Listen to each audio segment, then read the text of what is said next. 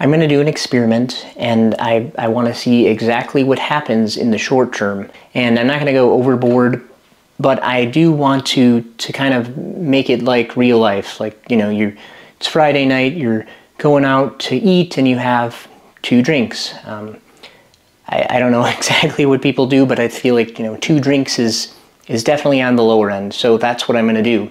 And the things I'm going to measure are some of my sleep metrics, like my my heart rate, my heart rate variability, and just like my sleep score and my recovery score, and those will be measured with my Oura Ring. And I got a test, a test here, uh, a vitamin D and inflammation test.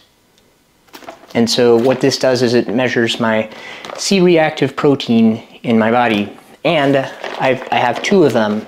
I'm going to measure it before and then I'm going to measure it after I drink alcohol. The reason I'm doing this, I just want to show the acute things that happen to your body when you consume alcohol. In, in the past, we've seen studies that show that maybe low to moderate drinking might be good for us, uh, but there's more recent studies, a 2023 study it was a systematic review and meta-analysis of 107 cohort studies with over 4.8 million people in it. They were looking at all-cause mortality, and they found no benefit to drinking even small amounts of alcohol. I think they said 25 grams, which is the equivalent to about two drinks. And in fact, they found that for women, uh, 25 grams of alcohol increased um, all-cause mortality and the number was a little bit higher for men, like 45 grams. Maybe that's three drinks or a little bit more, something like that. I don't drink often. I have drank alcohol in the past, and so I, I, I definitely have a lower tolerance. So take this all with a grain of salt, but but still, um, I do want to shed some light on what alcohol actually does in the short term. And there is uh, another study that I, I found more recently a 2022 study that looked at the brain. It was a cohort study, and they found that even small doses of alcohol, that moderate drinking, you know, one, like one to two drinks per day, uh, they found that that had a negative effect on your brain. And we know that it can definitely have some, some bad acute effects, like your decision making uh, executive functioning and that kind of thing. And another thing I, I, wanted to, to note before I before I go ahead and do this is the, the whole resveratrol thing. Um, you know, resveratrol is a, is a potent antioxidant that has plenty of benefits, but um, I think this has been debunked a, a while ago. You know, the amount of red wine you would need to get a beneficial dosage of resveratrol is, you know, you would have to drink like way more than you would want to to get that. So I'm going to go ahead here and take this test now. Um, I'll show you. I'll show you this. It's a. It's unfortunately a finger prick blood collection test, so I'll have to. Um, I'll have to get a grip and, and do that twice. But I'm going to do this now. And obviously I'm going to have to send this in. Uh, it's an Everlywell test. I'm not, I'm not sponsored by them or anything. But I'll turn that in. I'll turn both of them in. And I'll show you. Uh, I'm going to get some red wine here in a little bit. But I'm going to take this beforehand. I'm going to take it now. I'm going to go get the red wine. I'm going to have it for probably after dinner. I, ha I have kids. I don't really want to have it around them. And then I will go to bed and see what happens. All right, so I'm in my bathroom now. I'm going to open up the test. It's been a, a moderate, uh, pretty light winter over here in, in Minnesota, so I, I don't know how good my vitamin D score is going to be anyways, because it seems like I, I definitely don't get enough uh, sun in, in the winter. So I went out to dinner and I had a glass of red wine with my dinner, and this was at like six o'clock, six o'clock, I think. I feel like you know people have a drink or two with dinner. Um, they might have a nightcap or whatever you want to call it. So I had one drink, and I'm going to have one more drink, and I'm having this Merlot here. I don't know. It's supposed to be um, sulfite free. It's from Italy. You know, healthy wine, I guess you could call it that. So I'm going to pour it I, am not going to be super um, specific about measurement. I'm just going to have about, oh boy, about one drink. I don't know, does that look like one drink? Okay, so I'm going to drink this. Um, I haven't brushed my teeth yet. I usually brush my teeth before bed. I'm kind of upset about that. Take a sip. It's pretty good. I will finish this and then I'll do another test. So it's 9 p.m. I just finished my glass of wine. Now I'm going to take my vitamin D and inflammation test. I, you know, I feel fine. I, I do, I can feel it a little bit, but like I said earlier, I, I have a very low tolerance. I'm going to do my nighttime routine sort of, and I'll probably be sleeping within the next hour, but I'll check in tomorrow morning and show you the results from my Oura Ring. Okay, so it's the morning on Saturday, and I'm going to show you the results of my, my sleep. And so I haven't updated them yet. I'm just going to do it in live time for fun. Um, so I'm going to allow my, see here, hopefully you can see this. So I'm updating my Oura Ring. I, things to note is that I, I felt like I got good sleep. Um, see if it, sometimes it takes a while for it to update.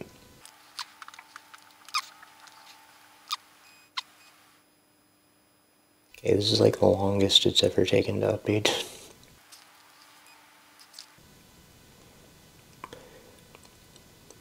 okay, so um, my readiness appears to be quite a bit down. I my resting heart rate was elevated.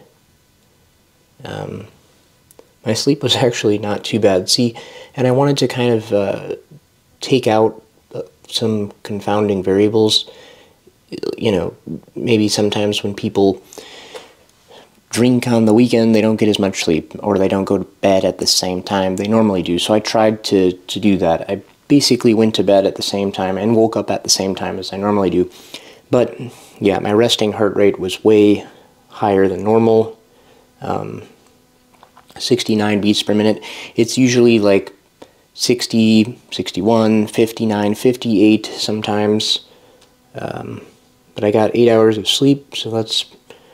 It took me a while to get to sleep. It didn't feel like it, it felt like I went to sleep pretty quickly.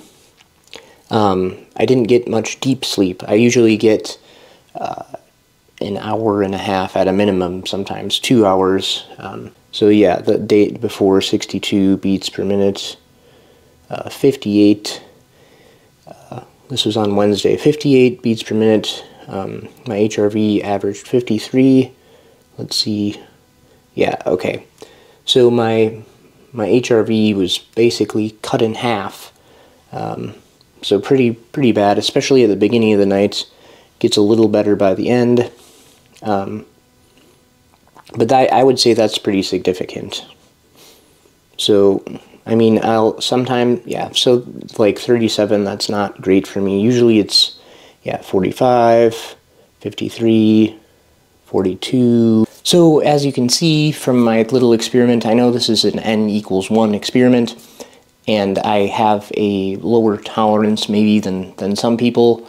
Um, my sleep was pretty negatively affected. It felt like I slept good. I even got 8 hours of sleep, but my HRV, my heart rate variability, indicating the higher your HRV, the, the more of a parasympathetic state you've entered, so you can recover, thus my kind of low recovery score.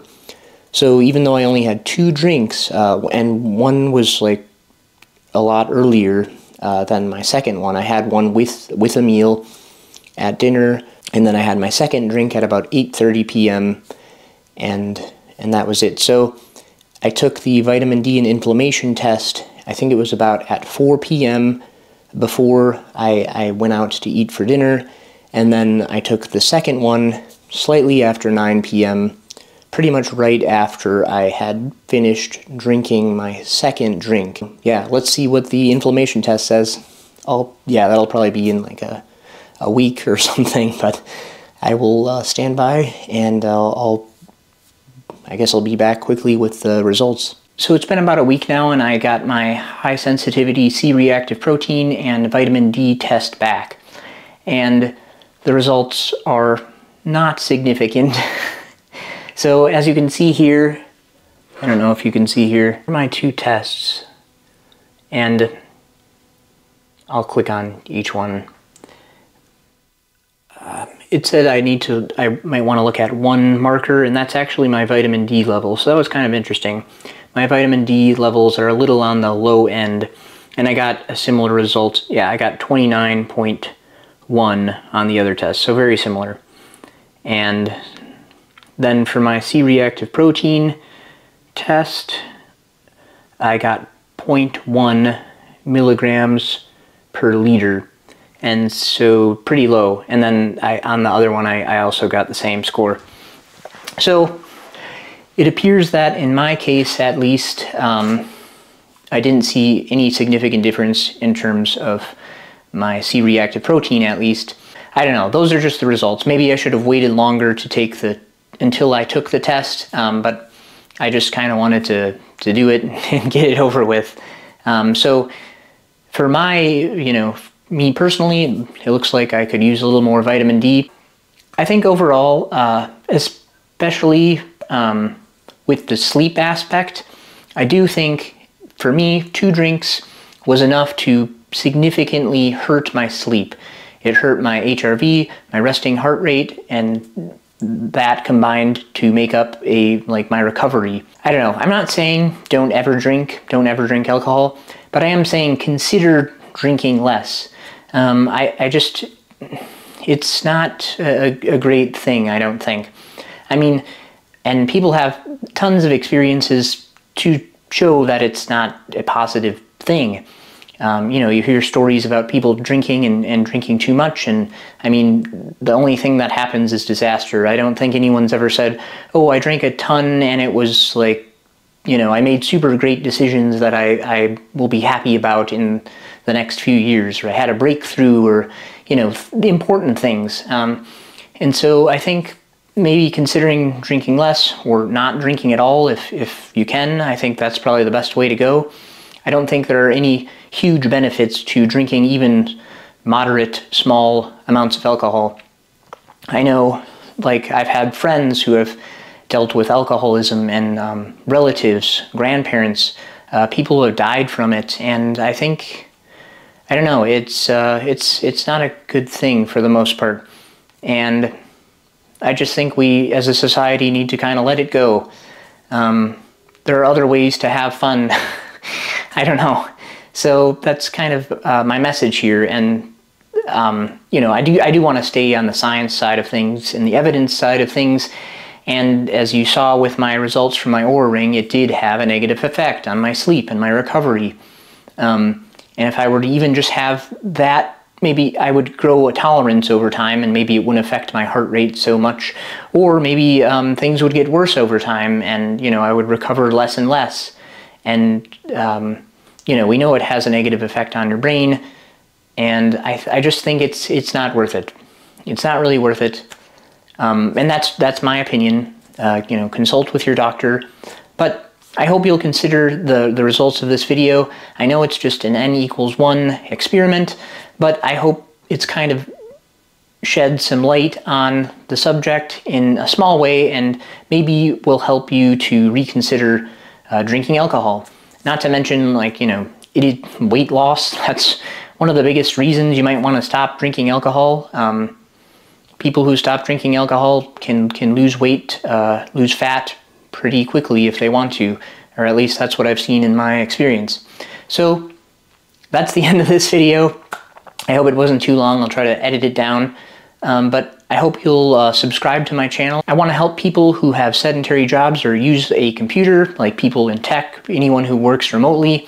I want to help those kinds of people and everybody in general uh, lead a more active life, and I want to provide tips uh, that people can easily implement into their day, things that don't take very long but um, have a big bang for your buck. Like, you know, don't drink alcohol. It doesn't take much time to not do that, uh, but it can have some significant uh, positive impacts on your health. Have a good one, and we'll see you on the next one.